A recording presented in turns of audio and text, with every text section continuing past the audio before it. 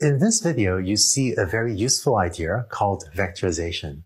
When you're implementing a learning algorithm, using vectorization will both make your code shorter and also make it run much more efficiently. Learning how to write vectorized code will allow you to also take advantage of modern numerical linear algebra libraries, as well as maybe even GPU hardware that stands for graphics processor unit this is hardware originally designed to speed up computer graphics on your computer, but turns out can be used when you write vectorized code to also help you execute your code much more quickly. Let's look at a concrete example of what vectorization means. Here's an example with parameters w and b, where w is a vector with three numbers, and you also have a vector of features x with also three numbers. So here, n is equal to 3. So notice that in linear algebra, the index or the counting starts from 1. And so the first value is subscripted w1 and x1. In Python code, you can define these variables w, b, and x using arrays like this. Here, I'm actually using a numerical linear algebra library in Python called NumPy which is by far the most widely used numerical linear algebra library in Python and in machine learning.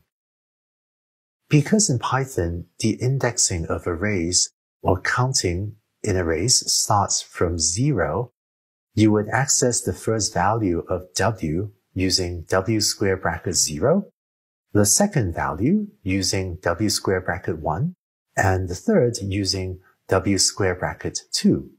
So the indexing here goes from 0, 1 to 2 rather than 1, 2 to 3.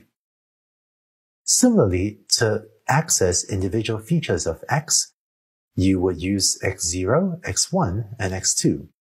Many programming languages, including Python, start counting from 0 rather than 1. Now, let's look at an implementation without vectorization for computing the model's prediction. In code, it would look like this. You take each parameter w and multiply it by its associated feature. Now, you could write your code like this, but what if n isn't 3, but instead n is 100 or 100,000? It's both inefficient for you to code and inefficient for your computer to compute. So here's another way, still without using vectorization, but using a for loop.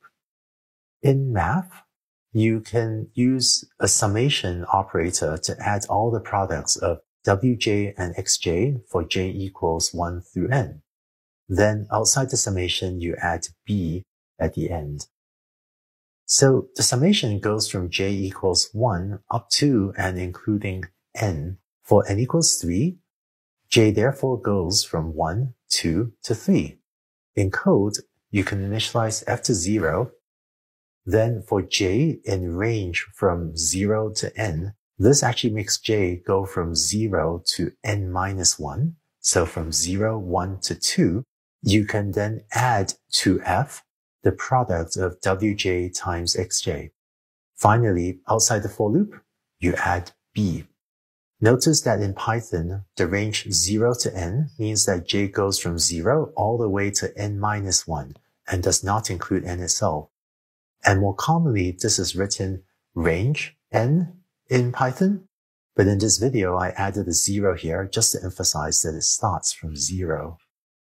While this implementation is a bit better than the first one, it still doesn't use vectorization and isn't that efficient. Now, let's look at how you can do this using vectorization.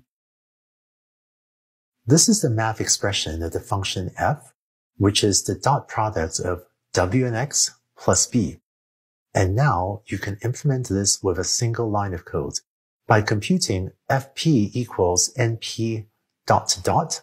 I said dot dot because the first dot is the period and the second dot is the function or the method called DOT. But it's FP equals NP dot dot W comma X. And this implements the mathematical dot product between the vectors w and x.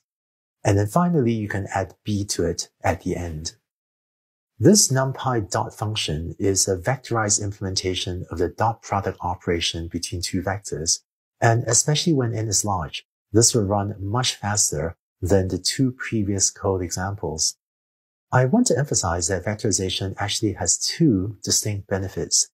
First, it makes the code shorter. It's now just one line of code. Isn't that cool? And second, it also results in your code running much faster than either of the two previous implementations that did not use vectorization. And the reason that the vectorized implementation is much faster is behind the scenes. The NumPy dot function is able to use parallel hardware in your computer. And this is true whether you're running this on a normal computer, that is on a normal computer CPU, or if you are using a GPU, a graphics processor unit that's often used to accelerate machine learning jobs. And the ability of the NumPy dot function to use parallel hardware makes it much more efficient than the for loop or the sequential calculation that we saw previously. Now, this version is much more practical when n is large because you are not typing w0 times x0 plus w1 times x1 plus lots of additional terms like you would have had for the previous version. But while this saves a lot on the typing, it's still not that computationally efficient because it still doesn't use vectorization. So to recap, vectorization makes your code shorter so hopefully easier to write and easier for you or others to read. And it also makes it run much faster. But what is this magic behind vectorization that makes this run so much faster? Let's take a look at what your computer is actually doing behind the scenes to make vectorized code run so much faster.